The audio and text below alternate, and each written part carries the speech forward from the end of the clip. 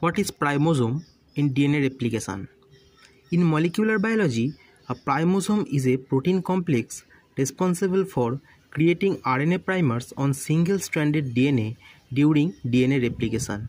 The primosome consists of seven proteins DNA G primase, DNA B helicase, DNA C helicase assistant, DNA T, pri A, pri B, and pri C.